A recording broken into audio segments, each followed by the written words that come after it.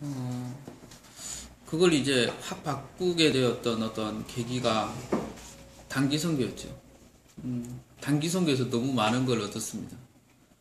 아, 함께 가신 집사님들과 관계, 예, 그리고 그분들이 또 저에 대해서 이해를 해주시고, 음, 갔다 와서 어, 또이 해성과의 관계도 상당히 이렇게 회복이 되, 게 되었고,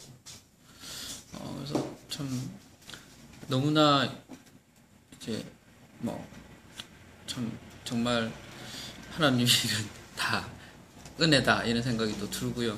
아, 보내신 것에 대해서 예, 감사드리고 또 앞으로 북방이 정말 저는 크게 성장할 거라고 생각을 합니다. 아멘. 예, 저희들끼리 있을 때는 저희가 야, 북방이 복의 통로가 되어야 돼 그럽니다. 예, 다른 성교에 예, 물질도 도와주고 예, 그럴 수 있는 성교회로 되자 이렇게 제 마음속으로 가지고 있고요. 또 그렇게 될 걸로 또 믿습니다. 아멘. 아멘.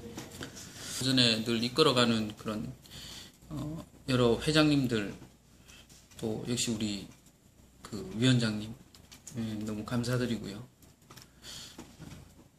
이 해선이 단단하게 받치고 있기 때문에 예, 선교에서 정말 일하는데도 어, 참 기쁘게 일할 수 있는 예, 그 밑바닥이 바로 해선하고 또 단위 선교회 회장님들이 계시기 때문에 그런 게 아닌가 생각이 듭니다. 우리 추진아 집사님한테 너무 감사하고요. 음. 네, 여기까지입니다. 고맙습니다.